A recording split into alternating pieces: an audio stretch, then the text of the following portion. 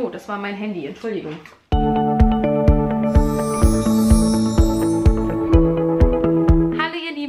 Heute soll es mal wieder ein etwas anderes Video geben und zwar dachte ich mir, ich mache ein Quartalsupdate und das kann ich ja jetzt immer für euch machen. Da kann ich euch alle aktuellen Fakten zu meinen gelesenen Büchern, zu meinen Lieblingsbüchern etc. alles in so ein Quartalsvideo packen. Ähm, ich habe das letztens bei der lieben Sina gesehen, also auf dem Kanal von Wörtern gefesselt. Ich verlinke euch ihr Video dazu unten in der Infobox, falls ihr da nochmal reinschauen wollt.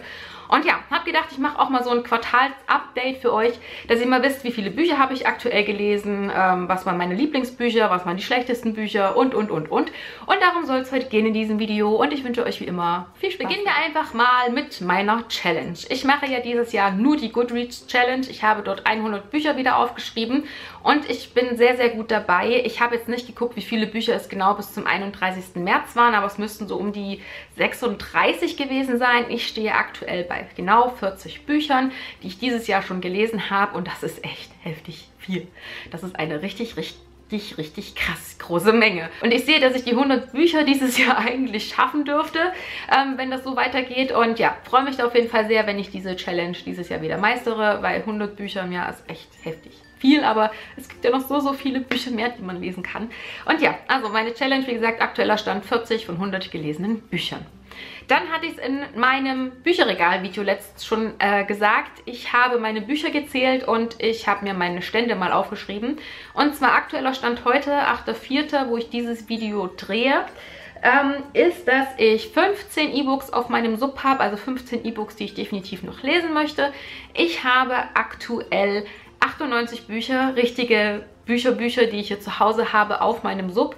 Ich war Ende des Jahres bei 115 oder so. Also ich hatte die 100 auf jeden Fall hinter mir gelassen und ich bin froh, dass ich jetzt wieder unter 100 bin. Das heißt, ich muss jetzt ganz, ganz viel lesen, dass ich auch unter 100 bleibe, denn es ziehen diesen Monat noch äh, zwei, drei Bücher bei mir ein und ja, ich möchte die 100 nicht wieder voll kriegen. Deswegen muss ich ganz, ganz viel lesen, dass ich unter den 100 bleibe. Das ist mein Ziel. Ich hatte mir eigentlich als Ziel vorgenommen, bis Ende des Jahres auf 50 runterzukommen. Da sehe ich eher noch schwarz im Moment, aber ich versuche mich jetzt erstmal unter den, aber ich versuche mich jetzt erstmal unter den 100 zu halten. Ähm, was meine gelesenen Bücher betrifft, ähm, da wurde ich letztens auch gefragt, wie viele gelesene Bücher ich eigentlich zu Hause habe. Ich habe aktuell 216 gelesene Bücher zu Hause. Ich habe ja letztes Jahr und Ende Anfang diesen Jahres Bücher aussortiert. Ich habe die Freunden gegeben, Arbeitskollegen verschenkt. Ich wollte die halt einfach nicht mehr haben. Und wie gesagt, bin jetzt bei einem aktuellen Stand von 216 Büchern. Wie gesagt, ungefähr 70, 80 habe ich aussortiert. Ähm, ansonsten bei den E-Books habe ich 40 gelesene E-Books und das zeigt schon den großen Unterschied, dass ich halt doch lieber zu einem richtigen Buch greife als zu E-Books, denn wie gesagt, E-Books sind meine Stiefkinder. Die lese ich halt eher mal nur so im Notfall, so für unterwegs und so. Ja, so. So viel soll es zu den Fakten erstmal gewesen sein. Ähm, das ist so mein aktueller Stand, was die Zahlen betrifft. Dann habe ich mir gedacht, ich zeige euch mal noch die fünf Top- und Flop-Bücher, die ich dieses Quartal so gelesen habe. Fangen wir mit den fünf Büchern an, die mir dieses Quartal am wenigsten gefallen haben. Ich sage jetzt nicht, dass sie von Grund auf schlecht sind, aber sie haben mir halt von allen Büchern, die ich gelesen habe, am wenigsten gefallen. Beginnen wir mit dem hier. Crossfire Versuchung von Sylvia Day. Da schließe ich den zweiten Teil mit ein. Ähm, diese Bücher waren einfach nicht mein Fall. Zu viel Erotik, zu viel äh, schlechte Vergangenheit und, äh, und äh, nee, es war einfach nicht mein Buch. Das ganze Angeschmachte und jede dritte Seite wurde sich da besprungen und ach, die Story war wirklich nur Hintergrund und oh, nee. Ich mag Bücher nicht, wenn der Sex zu viel im Vordergrund steht und zu viel dieses Buch dominiert. Und ja, war halt einfach nicht mein Fall. Ich werde die Bücher wahrscheinlich auch nicht weiterlesen. Vielleicht irgendwann, wenn es mich mal packt, dass ich die mir mal von einer Kollegin ausleihe. Aber kaufen werde ich die mir definitiv nicht. Dann habe ich ein Buch zum Geburtstag geschenkt bekommen von meinem Freund. Und zwar ist das dieses hier, Verlorener Stern von Mona Silver. Ich hatte es mir mal auf die Wunschliste mitgepackt, weil ich hatte es bei dem Kanal von der lieben Niki gesehen. Der heißt jetzt ja Die Librellis und äh, Lisa hatte das Buch dort vorgestellt und ich fand das Cover wirklich sehr, sehr cool und ich muss so sagen, dass mir die Geschichte im Ansatz auch wirklich sehr, sehr gut gefallen hat, aber der Schreibstil war so gar nicht meins und ähm, ja, da waren einige merkwürdige Sachen in dieser Geschichte mit drin. Und die erotischen Szenen, die hier beschrieben worden sind, ähm, reden wir nicht weiter darüber. Ich, ich, verlinke euch gerne unten in die Infobox die Rezis zu jedem einzelnen Buch. Dann könnt ihr dort nochmal genauere Informationen zu diesem Buch nachgucken, wenn es euch interessiert. Ja, aber dieses Buch war mir einfach vom Schreibstil, von der Ausdrucksweise her einfach zu merkwürdig.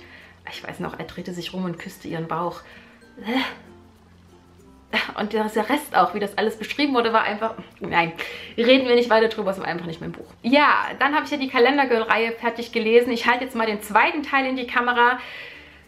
Ich meine aber eigentlich den dritten, nur den dritten habe ich gerade mit dem vierten zusammen verborgt, einer Arbeitskollegin. Deswegen halte ich stellvertretend den zweiten mal in die Kamera. Das Lesezeichen rutscht schon wieder raus, weil der zweite fast genauso schrecklich war wie der dritte.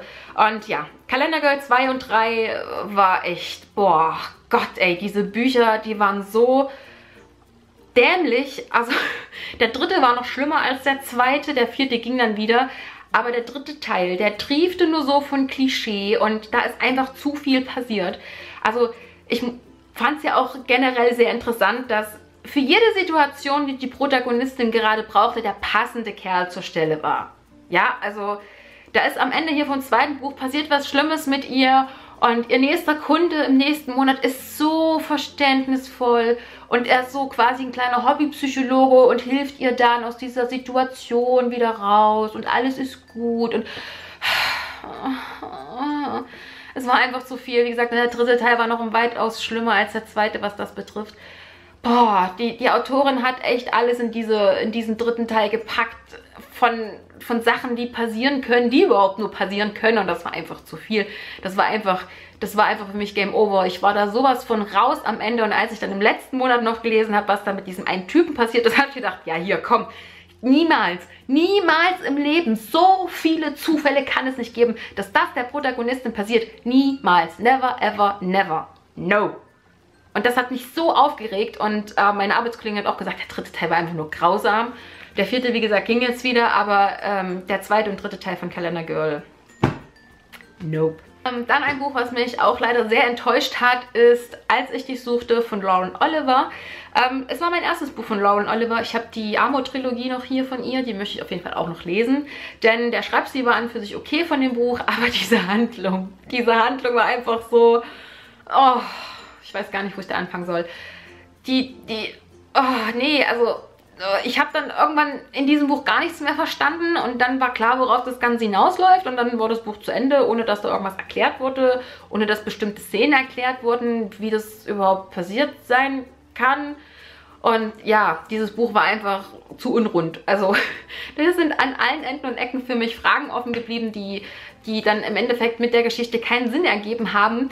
Ähm, ja, habe ich nicht so ganz verstanden, alles am Ende. Dieses Buch hat mich mit sehr vielen Fragen zurückgelassen und auch während des Lesens habe ich gedacht, hä? Was?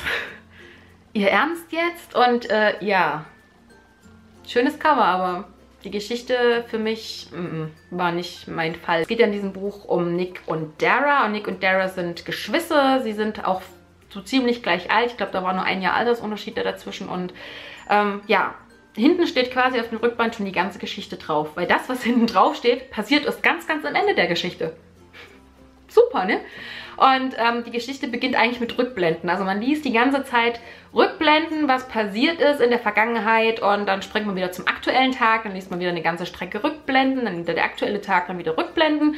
Und ähm, das vermischt sich dann irgendwann und dann kommt halt raus, was da jetzt genau eigentlich passiert ist. Und das, wie gesagt, ist sehr... Mm ja, nee. Und das letzte Buch, äh, was ich rausgesucht habe, hat mich auch sehr enttäuscht, obwohl ich sagen muss, dass bei dem Buch die Story echt gut war und dass ich auch die Charaktere wirklich mochte, aber hier hat das Ganze drum und dran nicht gepasst. Also hier hat weder das Worldbuilding gepasst, noch die Charakterbeschreibung, noch irgendwas anderes. Ich habe dieses Buch gelesen und es war wie ein grauer Film vor meinem Kopf. Ich habe mir diese Welten nicht vorstellen können, ich habe mir die Charaktere nicht vorstellen können, ich habe mir da einfach gar nichts vorstellen können. Und zwar rede ich von Rat der Neuen von Veronica Roth. Ähm, ich habe mich ja bei der Bestimmung schon gefragt, was mit dem Schreibtalent dieser Frau passiert ist, denn der erste Teil der Bestimmung war so unglaublich gut, der hat mir so gut gefallen. Und dann kam der zweite Teil, der war dann schon etwas schwächer. Und dann kam der dritte. Und ich habe gedacht, das wurde von wem ganz anders geschrieben. Und ja, auch bei Rat der Neuen konnte mich das Ganze leider nicht überzeugen, denn die Autorin hat es nicht geschafft, in dieser Science-Fiction-Geschichte, wo ein Worldbuilding das A und O ist, das A und O, eine Welt zu beschreiben. Ich habe... Ah, Das hat mich so aufgeregt. Ähm, und zwar leben hier unsere zwei Charaktere in diesem Buch. Jetzt muss ich nochmal kurz nachlesen. Sie hießen Kyra und Arcos.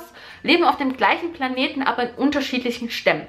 Und ich habe keine Ahnung, wie groß dieser Planet ist, wie weit die voneinander entfernt leben.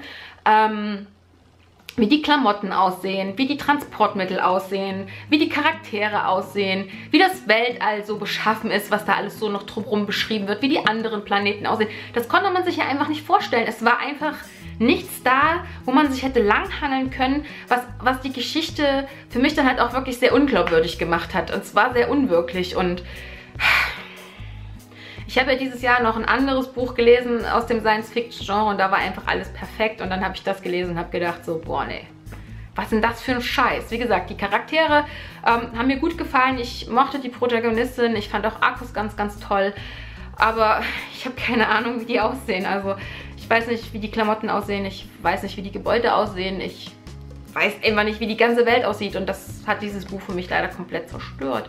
Ich weiß auch nicht, ob ich den zweiten Teil lesen werde. Ich schätze im Moment schon, ähm, denn wie gesagt, die Storyline an für sich und auch die Charaktere haben mir ganz gut gefallen. Und es ist ja auch nur eine Dilogie, also denke ich mal, dass ich den zweiten Teil dann schon lesen werde, wenn er rauskommt, aber dieses Buch hat mich leider wirklich sehr, sehr enttäuscht das war der deprimierende Teil. Kommen wir jetzt zu meinen fünf Top-Büchern für dieses erste Quartal und das sind wirklich Bücher, die mir auf unterschiedliche Weise wirklich sehr, sehr gut gefallen haben. Und zwar fangen wir mal mit dem ersten Buch an und zwar halte ich in die Kamera This New World von Laura Newman. Viele werden sich jetzt sagen, hm, hat die nicht in ihrer Buchvorstellung gesagt, dass der Anfang ihr nicht gefallen hat, dass da die Geschichte nicht so spannend war, dass das alles irgendwie nicht so hundertprozentig gepasst hat?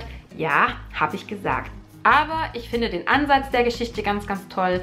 Ich fand die Charakterentwicklung von der Protagonistin in diesem Buch ganz, ganz toll. Ich finde die Nebencharaktere ganz, ganz toll, die Laura da geschaffen hat. Und ähm, ja, ich fand das Ganze drum und dran, dann halt nach diesem Anfang, nach diesem Zeitsprung, den wir hier in dieser Geschichte machen, einfach wirklich ganz, ganz toll. Und ähm, es hatte für mich äh, viele, viele schöne Momente, dieses Buch. Und gerade das Ende hat für mich alles auch nochmal rausgerissen, was da passiert ist. Und ich bin auf jeden Fall gespannt, wie es weitergeht und freue mich dann schon, ähm, This New World, äh, den zweiten Teil von Laura zu lesen, der wahrscheinlich Ende des Jahres erscheint. Ich hoffe es, dass äh, Laura es schafft, dieses Buch bis Ende des Jahres fertig zu schreiben und rauszubringen, denn ich möchte verdammt nochmal wissen, was hier dann im zweiten Teil passiert. Ich habe schon so eine Ahnung, was die Charaktere noch betrifft. Ähm, ich kann dazu nichts weiter sagen. Es ist quasi eine apokalyptische Welt. Also wir befinden uns mitten quasi im Weltuntergang. Na, jetzt nicht so direkt, aber so, es bröckelt so ein bisschen, sag ich mal, in der Welt, was das alles betrifft. Und ähm, ja, dann passieren hier noch einige merkwürdige Sachen mit den Menschen in dieser Welt und äh, ja, fand ich sehr, sehr cool. Also der Ansatz hat mir auf jeden Fall richtig gut gefallen und deswegen ich habe dieses Buch echt wahnsinnig schnell auch gelesen. Ich fand es ganz, ganz toll. Laura's Schreibstil hat mich wieder 100% überzeugt und ich liebe Laura ihre Bücher einfach und deswegen war es definitiv eins von meinen Top 5 Büchern im ersten Quartal. Was habe ich noch gelesen? Und zwar habe ich gelesen im März wie die Luft zum Atmen von Brittany C. Cherry und ähm, auch dieses Buch war einfach der Wahnsinn. Es war so gut. Ähm, es geht ja in diesem Buch quasi um eine Liebesgeschichte und äh, wir haben zwei quasi gebeutelte Charaktere, die eine ganz, ganz schlimme Vorgeschichte haben, eine ganz, ganz schlimme Vergangenheit haben und dann aufgrund Verkettung von Ereignissen immer wieder aufeinandertreffen und dann am Ende es schaffen, sich gegenseitig zurück ins Leben zu holen und ja, dann doch noch mit einigen Problemen zu kämpfen zu haben und das Ende war so unglaublich gut, weil da sind so viele Sachen noch passiert, mit denen ich absolut nicht gerechnet hätte und die Auflösung dann zum Ende hin war so, oh mein Gott, was? Wie krank ist das denn bitte? Und ja, dieses Buch hat mich 100% überzeugt. Es war eine der besten Liebesgeschichten mit so einem erotischen Touch, die ich echt hier gelesen habe. Ich habe ich hab echt Tränen in den Augen gehabt bei dem Buch. Ich habe wahnsinnig viel gelacht bei dem Buch. Diese eine Szene, die war, die war so gut. Also da hat die Protagonistin geträumt und was sie da geträumt hat, war einfach so witzig. Und ähm, ja, ich kann dieses Buch wirklich nur empfehlen und ich finde auch das Cover richtig cool. Es ist endlich mal ein Kerl vorne auf dem Cover, der was anhat und der nicht lasziv in die Kamera schaut. Ja, finde ich wirklich richtig cool. Ich kann euch dieses Buch wirklich nur empfehlen. Es ist ganz, ganz toll. Dann habe ich noch gelesen den zweiten Teil von Angel Fall, Tage der Dunkelheit. Mir hat eine Abonnentin mir unter meinem Video kommentiert, dass die Storyline vom zweiten fast genauso ist wie die vom ersten. Und ja, so rückblickend betrachtend hat sie recht. Das ist mir aber in dem Buch beim Lesen absolut nicht aufgefallen. Und das äh, spricht für das Buch. Also ich mochte den zweiten Teil wieder total. Ich fand das so heftig, was da rausgekommen ist alles, was ähm, mit der Schwester der Protagonistin passiert ist. Ähm, auch gerade zum Ende hin, wie die Engel eigentlich alle so ticken und wie die alle so drauf sind und das Ende, es war so gut. Ich habe echt gedacht, boah, das läuft jetzt garantiert da drauf hinaus, dass das so und so endet. Und ich weiß noch, ich habe Sina noch eine Sprachnachricht geschickt und gesagt, gib's zu, das endet jetzt so und so. Und Sina nur so, lies einfach weiter, dann wirst du es erfahren. Und es war ganz anders vom Ende her, wie ich es erwartet habe und wie ich es mir ausgemalt habe. Und das hat mich einfach nochmal so überrascht. Und ähm, ja, Angel Fall, wie gesagt, Tage der Dunkelheit gehört für mich definitiv zu den Top 5 Büchern, die ich dieses Jahr gelesen habe. Es ist eine ganz, ganz tolle Geschichte. Der erste Teil hat mich umgehauen, der zweite Teil auch. Ich habe den so gefeiert. Ich feiere auch immer noch diese beiden Bücher. Ich feiere Penryn als Protagonistin, die ist einfach so kick-ass, die Frau. Und ach, ganz, ganz toll. Und Raffe ist toll und Paige ist toll und die bekloppte Mutter ist toll. Also Susan E. hat hier wirklich ganz, ganz tolle Charaktere erschaffen, glaubwürdige Charaktere und das alles in so eine postapokalyptische Szenerie zu packen mit bösen Engeln ist einfach nur mega. Und wie gesagt, ich feiere diese Bücher total und kann euch diese Reihe quasi wirklich nur empfehlen und ich freue mich schon so auf den dritten Teil und ich bete, dass der nächstes Jahr kommt. Ich bete dafür. Der Verlag hat bestätigt, dass er rauskommt und hat auch gesagt, vermutlich nächstes Jahr. Also Daumen drücken, dass er kommt und Yay, ich freue mich schon so drauf. Das Buch ist so gut. Dann habe ich mir noch ein Buch von einer deutschen Autorin rausgesucht und zwar Wir fliegen, wenn wir fallen von Ava Reed. Ähm, dieses Buch hat einfach durch seine schönen Momente bei mir überzeugen können. In dem Buch ist es ja so, dass wir zwei Charaktere haben, die durch einen sehr, sehr unglücklichen Zustand zueinander finden und zusammen eine Reise machen müssen und ähm, sich auf diese Reise verändern und entwickeln und wirklich wahnsinnig schöne Orte besuchen. Und das war einfach so von der Grundstimmung her in dem Buch so ein schönes Gefühl und so ein schönes Feeling beim Lesen, dass ich mir immer gedacht habe, oh ja, ich möchte auch dorthin. Ich möchte die Reise gern mit euch machen. Ich möchte das alles mit euch erleben. Und das hat dieses Buch für mich so rund gemacht und so perfekt gemacht. Und ja, es war einfach wahnsinnig schön, das Buch zu lesen und es hat mir wirklich sehr, sehr gut gefallen. Und ich mochte den Schreibstil von der Autorin total und es war einfach eine wunderschöne Geschichte über das Leben und die Liebe und ähm, wie das Schicksal halt manchmal auch einfach so spielt und ja, es war ganz, ganz toll. Ich kann euch dieses Buch wirklich nur empfehlen, also richtig, richtig gut. Also wer mal Lust auf eine ganz, ganz tolle Geschichte hat, wo es halt um das Thema Reisen geht und Entwicklung und Veränderungen und das Leben und die Liebe, dann solltet ihr euch Wir fliegen, wenn wir fallen, auf jeden Fall mal mit angucken. War ganz, ganz toll, richtig gut top. Kann ich nichts anderes sagen. Mega, mega gut. Und das letzte Buch für dieses Video ist ein Buch, was mich wahnsinnig überrascht hat. Ähm, weil ich zu Beginn auch mit dem Worldbuilding so meine Schwierigkeiten hatte, aber wo ich das dann einmal im Kopf hatte und wusste, wie das alles aussieht, hat die Geschichte mich einfach nur noch in ihren Bann gezogen. Und zwar rede ich von Diabolik vom Zorn geküsst von S.J. Kincaid. Dieses Buch ist schon so mein Jahreshighlight bisher, würde ich sagen. Also ich fand die Geschichte einfach nur toll. Ich fand die Protagonistin toll und dieses Buch reflektiert wie so in der Kamera.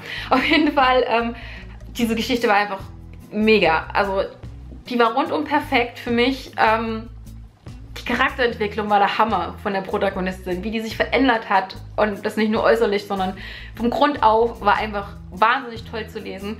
Ähm, die Plot-Twists, die in diesem Buch drin sind, die sind einfach nur der Hammer. Also da sind Wendungen drin, die man kommen sieht teilweise und teilweise einfach total überraschend sind. Ähm, die Brutalität, die hier so an zwei, drei Stellen in diesem Buch durchkommt, damit habe ich auch absolut nicht gerechnet. Da habe ich auch echt nur gedacht, wow, krasser Scheiß.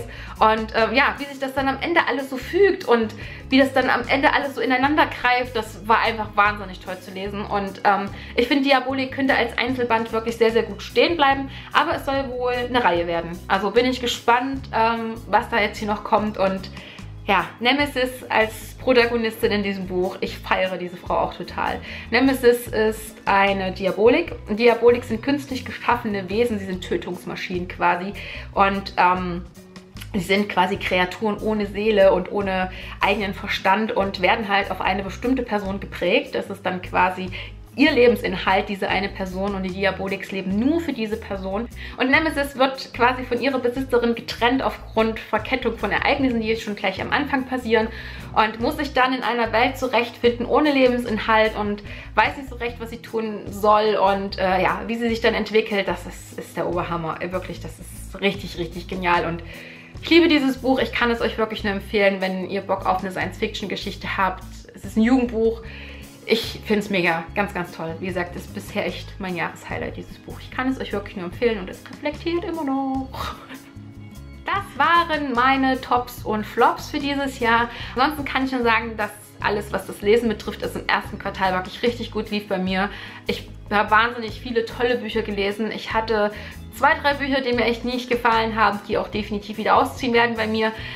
Ansonsten kann ich nur sagen, dass das erste Quartal äh, wieder ein gutes Quartal war. Also es ist A, wahnsinnig schnell rumgegangen, finde ich. Und ich finde auch, dass der April schon wieder nur so rast. Also es ist krass, wie dieses Jahr schon im Allgemeinen wieder rumgeht. Ja, aber ansonsten fand ich das erste Quartal dieses Jahr richtig gut. Also jetzt nicht nur was das Lesen betrifft, es war bisher alles ganz entspannt bei mir.